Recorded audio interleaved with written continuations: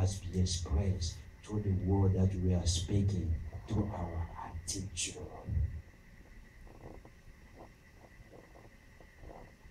You may face him today, mountain of despair, mountain of hopelessness, mountain of defeat, mountain of heartache, heartache, mountain of sorrow, mountain of broken dream and shattered hope, mountain of seemingly unconquerable habit and unsolvable problem.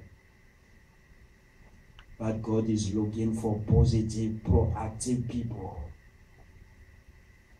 who keep into the world, need and with courage says, Give me this mountain.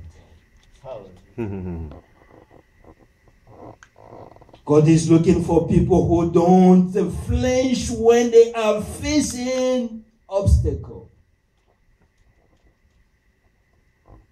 God is looking for people who don't cave in at every little difficulty.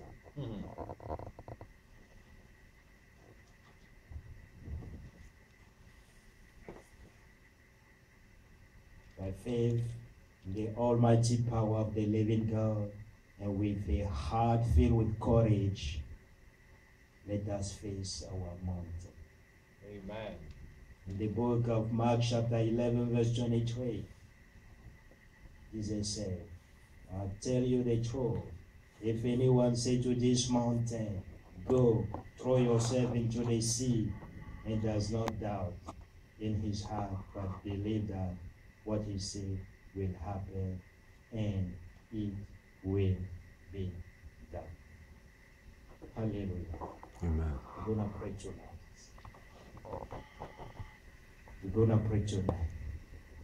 We're gonna pray as the Holy Spirit, whatever the unbelief we have in our heart, are gonna stop us to believe, even though the small word, even though they come, they come in the word of God. Whatever the unbelief, let us ask the Holy Spirit to take that unbelief in us and to help us grow in favor and trust Him till the end.